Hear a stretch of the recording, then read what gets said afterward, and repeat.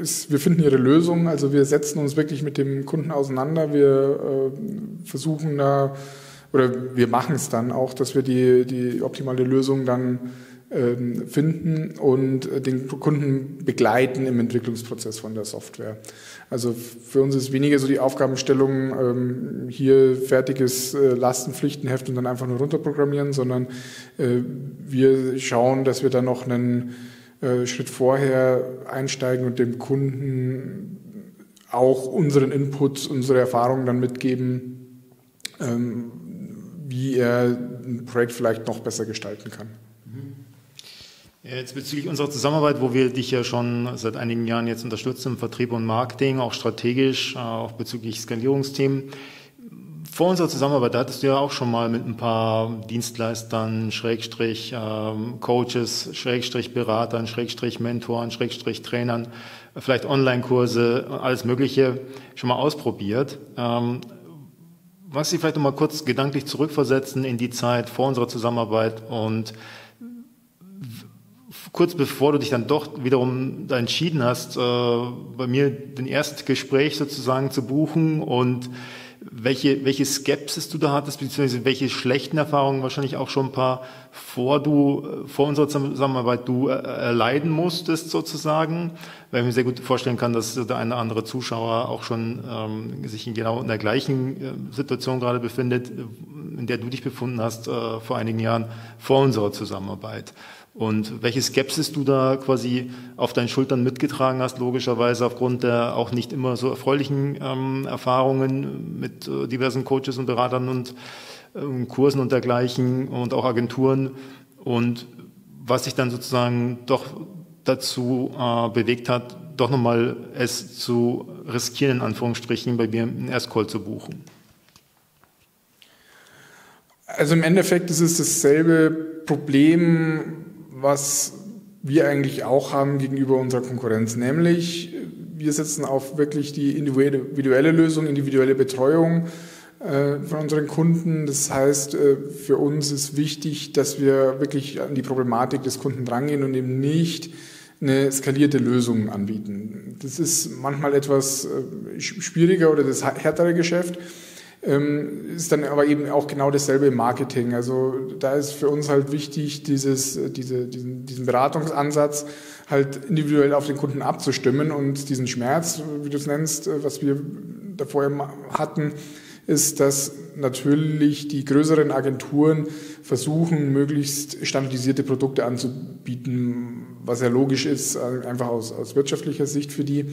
Ähm, die, können das halt nicht so abbilden, dass äh, sich dann der, der Coach oder der Berater wirklich mit dem Einzelnen auseinandersetzt und dann auch die Historie kennt und die jeweiligen Gegebenheiten dann auch kennt. Auch ein bisschen die Erfahrungen, die man in der Vergangenheit gemacht hat, wo man daraus gelernt hat.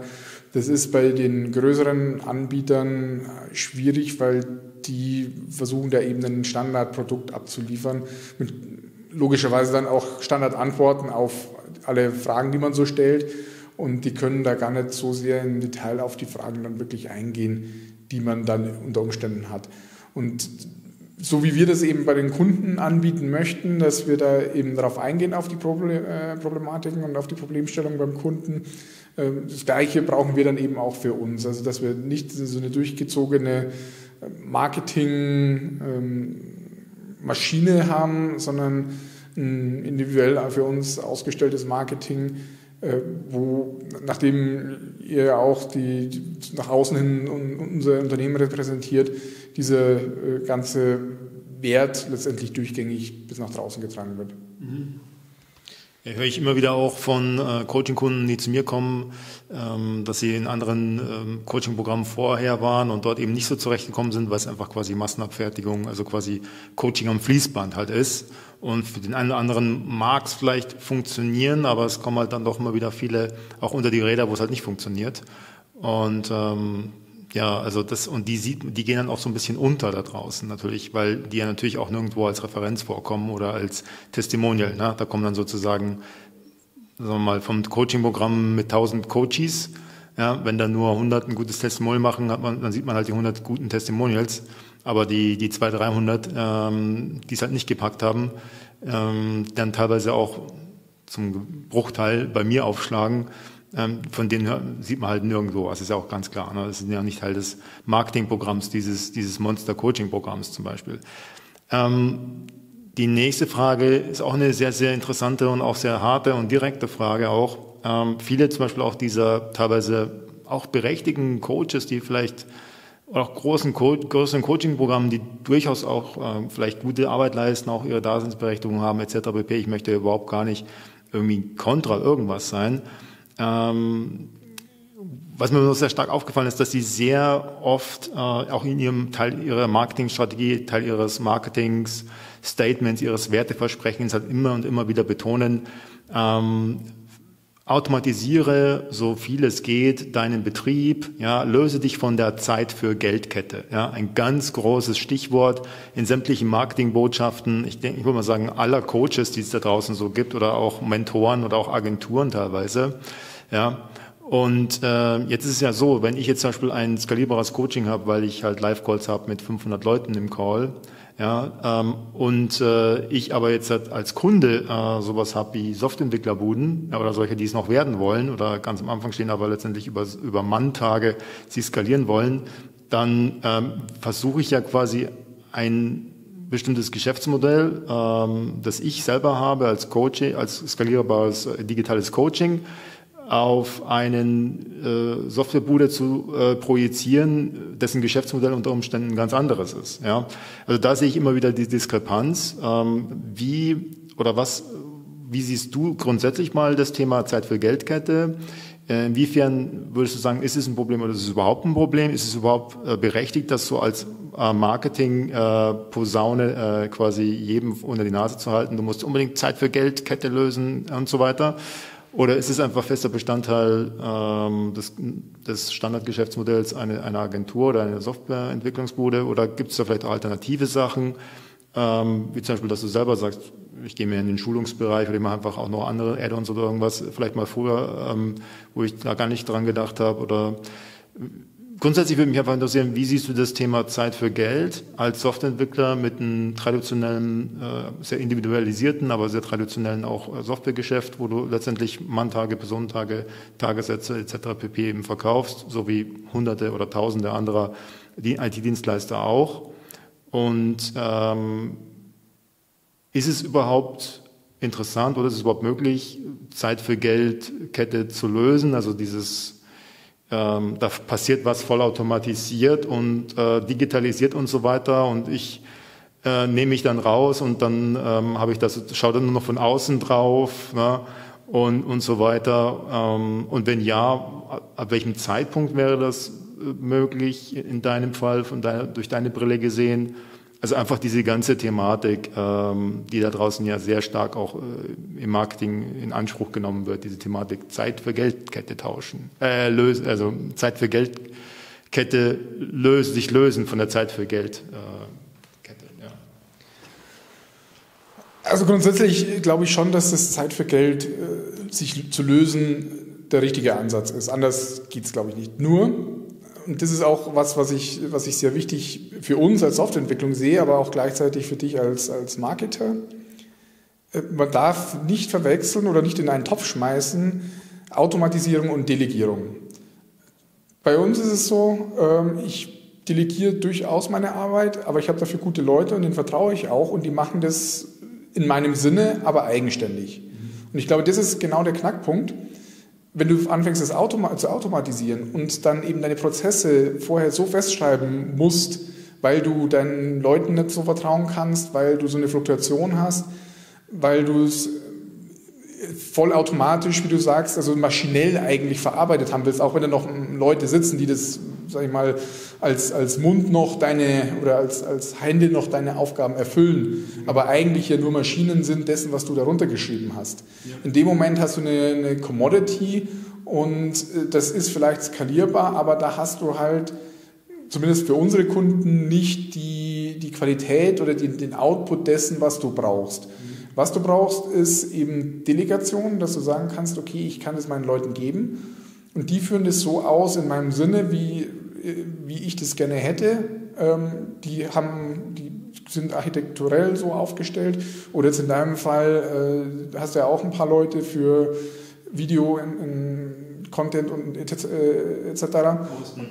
Genau, und die Sachen, die kommen ja raus und die sind ja die kann man ja hernehmen. Die sind ja, du hast ja nicht denen vorher so äh, vor, vorgegeben, klar gibt es ein bisschen gewisse Schulung, aber du hast ihnen nicht vorgeschrieben, gegeben, wie die genau das zu tun haben, sondern die kommen da mit einem gewissen Talent wahrscheinlich schon rein, äh, verfeinern das Ganze noch und machen es dann eigenverantwortlich. Ich habe bei dir jetzt noch keine so genauen Arbeitsanweisungen gesehen, wie genau das, das sein soll. Und genau da finde ich, das ist der wichtige Punkt, wie man eben qualitativ skalieren kann. Das andere ist eben so Massenware. Ja, da wird es auch Abnehmer geben. Die kaufen sich das halt, äh, weil sie nichts Besseres kennen und nichts Besseres einfällt. Aber jetzt gerade so bei, bei dir oder auch bei uns in der Software äh, funktioniert das nicht so in dem Maße. Das ist dann wirklich Commodity. Das ist auch was, wo ich, ich persönlich äh, so eine gewisse Aversion dagegen habe weil es einfach den, den Anforderungen nicht gerecht wird. Software und Marketing sind hochkomplexe Themen.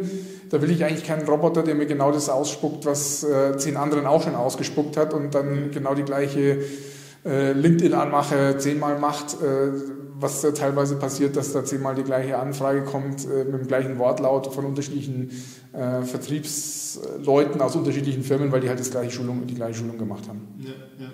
Besonders auch mit den ganzen Suchmaschinenoptimierungen, also SEO, ja, auch für den Techie-Bereich sehr, sehr relevant, weil es dort teilweise ähm, auch mit bezahlter Werbung manchmal man sehr schnell auch in die Grenzen kommen kann. Ähm, und äh, das, äh, da lege ich auch immer sehr viel Wert drauf, dass jeder Mitarbeiter bei mir, der irgendwie SEO-Content-Arbeit macht, leistet. Ja, Content ist halt King auch. Ja, egal, ob man jetzt halt Online-Werbung schaltet oder nicht, in Kombination ist Content am Ende immer King. Ähm, auch dann jeder von denen auch seine persönliche Note da mit dabei hat. Ne? Äh, wie du schon gesagt hast, die, die, die zehn, zehn verschiedene Links an, anmachen, äh, also, ähm, da, also äh, Vertriebsversuche über LinkedIn äh, zehnmal am Tag und zehnmal eine komplett unterschiedliche Person ähm, aber zehnmal der kommt exakt selbe Skript und wenn man den dann zurückantwortet, dann kommt sogar im, im zweiten Schritt wieder die exakt gleiche Antwort zurück, äh, wie du es so beschrieben hast. Ja, und dann weiß man schon, okay, alle diese zehn, ja, die mich da gerade versuchen auf LinkedIn zu akquirieren, ja, mich als GNP-Soft GmbH, die kommen alle aus dem exakt gleichen Coaching, ja. Und da ist halt nirgendwo irgendwie eine, eine persönliche Note dabei. Und genau das macht es ja eben so schwer, ähm, äh, überhaupt da die, die Vertrauensbildung, Vertrauensbildung überhaupt mal stattfinden zu lassen, sodass man überhaupt erstmal ein Gespräch und spricht da. Also das macht den Vertrieb eigentlich, erschwert den Vertrieb im, im Endeffekt, als dass es ihn erleichtern würde, weil am Ende, verkau äh, am Ende kaufen immer Menschen von Menschen. Ja? Also das gilt auch im Software oder Techie, egal, oder KI. Also das ist halt einfach, am Ende kaufen Menschen von Menschen. Ja, ähm, und äh, das vergessen viele leider auch. Ja. Also letztendlich ist es eine super Überleitung an meine letzte Frage, ähm, puncto Menschlichkeit. Ja, also sich seine Kunden aussuchen, aber auch seine Partner, auch seine Coaches oder Mentoren, egal in welche Richtung. Ja, also ob man jetzt als Einkäufer da ist, ne, also jeder Einkäufer, by the way, ist auch ein Verkäufer. Ja, also es ist letztendlich genau die gleichen Skills. Ähm, oder ob man jetzt was einkauft oder auch was verkauft. Einfach nochmal ein paar Worte zum Thema Menschlichkeit. Das ist genau die Überleitung, perfekt eigentlich, habe ich mir notiert, sogar als äh, war gar nicht so geplant. Dritte Frage, äh, wir sind letztendlich alles Menschen. Ja. Ähm, ja, also gerade bei uns, wir sind jetzt kein, kein Riesenunternehmen, da hängt auch noch sehr viel an der Geschäftsführung und die Geschäftsführung in meiner Person ist auch sehr, sehr technisch orientiert und äh, auch äh, gerne in der Problemlösung verhaftet ich habe auch gar nicht den, den, den, die Lust, mich jetzt da in großen Diskussionen, also nicht technischer Art, Diskussionen zum Projektablauf und dergleichen da, äh, damit auseinanderzusetzen. Und ich habe auch nicht die Zeit dazu. Und insofern, da ist es halt auch eine Hilfe, wenn es eine gewisse Vertrauensbasis gibt zwischen Kunden, zwischen Zulieferern äh, und man auf diese ganzen Scharmützel verzichten kann, die dann so eher eigentlich zeitraubend und, und nervenaufreibend sind sondern wirklich in der Sache halt arbeiten kann und sich nicht äh, mit den persönlichen Kleinkram dann auseinandersetzen muss. Und es ist halt auch einfach so, wenn ein, äh, Dienstle ein, ein Kundenmitarbeiter vielleicht mit dem Dienstleister nicht klarkommt, weil er von dem nichts hält, dann wird es halt einfach ein schwieriges Projekt werden. Und das ist, finde find ich dann persönlich auch sehr schade. Ich bin dann sehr, sehr konstruktiv orientiert. Ich versuche das Projekt voranzubringen. Und äh, da sich dann auf persönliche Reibereien einzulassen, versuche ich zu vermeiden. Das geht ja logischerweise nicht immer, aber äh, sinnvollerweise schafft man eben einen wirklichen Mehrwert in der Sache und äh, nicht äh, minimale Reibungen unter den Personen. Das, äh, das ist immer so mein, mein Ziel im, im Projekt dann. Ja. Ich äh, kann es einfach nur bestätigen. Also ich habe jetzt auch wieder ähm, ein paar ähm, Zuarbeiterinnen ähm, ja, äh, eingestellt und äh, es ist wirklich Gold wert, wenn man da ein bisschen Menschenkenntnis walten lässt und sich auch vielleicht ein bisschen mehr Zeit lässt bei der Einstellung oder auch beim Recruiting generell oder auch, das bezieht sich auf Freelancer, egal, oder auch wenn man sonst was, egal welches Verhältnis, immer das Gleiche. Und äh, dann letztendlich jemanden hat, wo man ähm, nach, wenn man da eben eine gewisse Prüfung eben durch hat, ähm, sich auch zu 100 Prozent einfach verlassen kann. Ja, also äh, ich weiß nicht, wie viele da vielleicht äh, an Aufwand haben und an Coaching oder nochmal zusätzliches Coaching buchen und so weiter für irgendwelche Kontrollmechanismen, ja, und dieses Tool und jenes Tool und Zeiterfassung und das und dies und jenes. Und äh, am Ende des Tages, ähm, ich kann es auch von großen Agenturen, denen ich schon früher häufig auch Teamleiter war und so weiter, ne, also vor zehn Jahren und 20 Jahren und auch Coach und Teams aufgebaut habe, kann ich nur eines sagen, da waren teilweise wirklich äh, rigide ähm, Kontrollmechanismen, ja, mit Daumenabdruck äh, zur Tür rein, ja, tatsächlich. Und dann, ähm, also wenn jemand mal krank war, dann gab es kein Gehalt. Ja, also das war hier in Deutschland, in München, ja, gibt es so eine Agentur, vielleicht manche kennen die noch. Also ganz, ganz stark. Und dann auch da haben dann letztendlich, also desto mehr Druck ausgeübt wurde, äh, teilweise, ne, desto mehr haben die Leute auch äh, Wegemittel gefunden, äh, die Statistiken zum Beispiel äh, zu fälschen, sowas wie zum Beispiel äh, ähm, Schlagzahl oder sowas. Ja? Also es gab immer irgendwo einen Weg. Und äh, letztendlich ist da meiner Meinung nach, man lässt sich ein bisschen mehr Zeit vielleicht im Recruiting auch und auch oder auch in der Auswahl des, des der Partner und dann letztendlich dann wirklich hundertprozentig sicher zu sein, dass man jemanden hat, dem man 100 Prozent vertrauen kann. Dann kann man immer noch Kontrollmechanismen im, im, im, Einsatz haben, aber die sind dann gar nicht mehr notwendig und das kann ich jedem versprechen. Und wenn du das erstmal hast, also jemanden wie so eine Art Goldschatz, ja, also Leute, die wirklich, ähm, ich sage immer, ähm, wo quasi eine, eine Connection äh, entstanden ist, ja, eine Bindung, ja, und äh, da kann man dann wirklich auch Welten bewegen und, äh, und auch äh, alles erreichen, was man erreichen will, auch unternehmerisch. Okay, vielen Dank nochmal für dieses super tolle Video, ähm, Interview, ja, Video und Interview. Und dann wünsche ich dir weiter noch sehr viel Erfolg in der Skalierung und in allen deinen Zielen, die wir uns ja äh, auch gemeinsam gesteckt haben für das Jahr, für dieses Jahr noch und auch für das nächste Jahr. Vielen Dank, Michael. Danke. Ciao. Okay, so jetzt muss ich schnell, schnell rüberhelfen zum nächsten Call.